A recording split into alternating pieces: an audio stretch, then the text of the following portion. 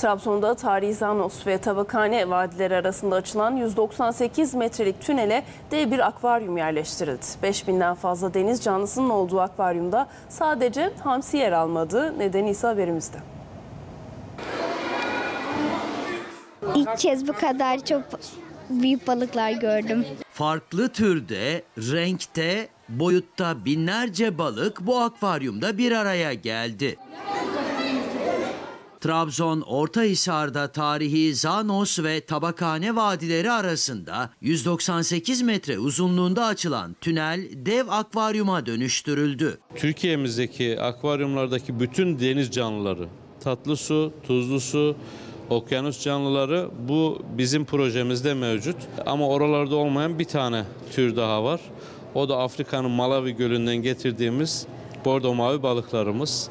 Onlar da şehrimizin sembolü. Onlar da şampiyon balıklar ismini koyduk. Ancak akvaryumda olmayan bir balık var ki en çok merakı da yine o uyandırdı. Burada e, öncelikle hamsi olması lazımdı. Hamsiyi göremedik.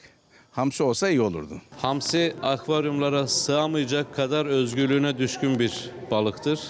Ee, o nedenle hamsi burada yok. Ziyaretçiler akvaryumda keyifli vakit geçiriyor. Çok beğendik, çok güzel. Çocuklarla geldik, çok mutlu oldular. Öyle heyecanlı bir şekilde geziyoruz.